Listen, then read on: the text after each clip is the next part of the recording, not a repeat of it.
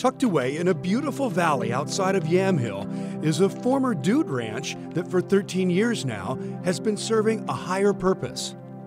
If you read How We Got the Ranch, you could be an atheist, doesn't matter. You read that and you go, that was undeniably God.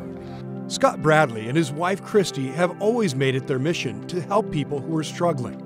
When a family from southern Oregon bought the Flying M Ranch and offered to lease it to the Bradleys for a dollar a year, their mission grew.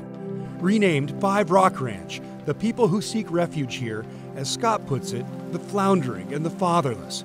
Young women, many single moms living here, leaving addiction and crime behind. Day camps for young men with no fathers to connect with role models and more.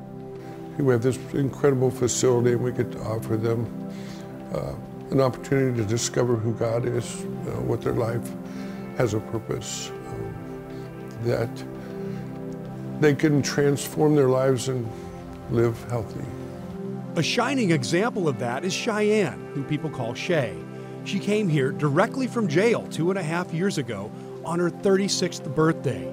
Shay called Five Rock, and Christy answered. She didn't know me um, or anything about about me, and she picked me up, and um, this is where I am still. Two and a half years later, how do you feel? Uh, amazing.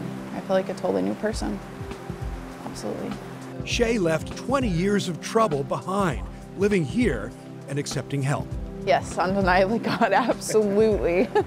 I tried it on my own several times and nothing worked until I came to Jesus Camp. now she's the women's ministry director helping other women who are floundering, like she was.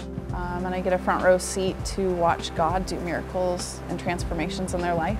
Um, I get to live life with them side by side, which is the most amazing part. The lodge is expansive and amazing. There are cabins and a big bunkhouse on the property, too. More than 50 people are building a new life here, staying two years on average. Almost half are children. And the ranch swells at certain times, like Christmas. Five Rock throws a big sleepover party, and Christmas morning is super special. And yes, there is a KGW connection. The KGW Toy Drive is a miracle for us.